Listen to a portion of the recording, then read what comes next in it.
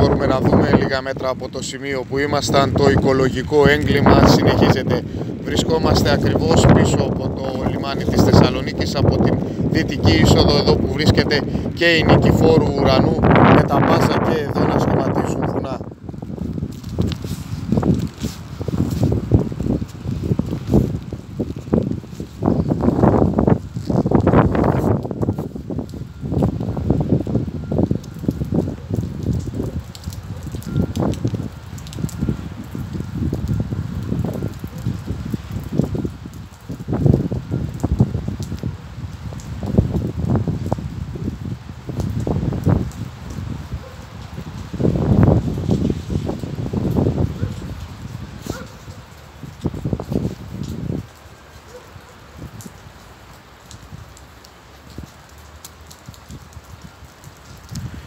Ολόκληρη περιοχή θυμίζει μια υγειονομική βόμβα στην κυριολεξία έτοιμη να εκραγεί.